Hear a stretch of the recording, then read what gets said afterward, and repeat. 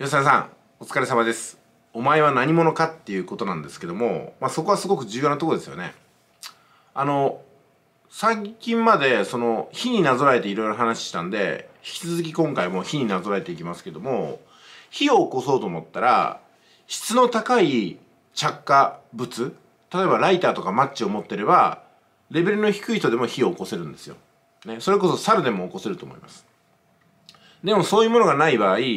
木と木をこすり合わせてそのこすり合わせた量によってブスブスっと火が起きてくると。3回こすり合わせただけじゃ火が出ませんからね。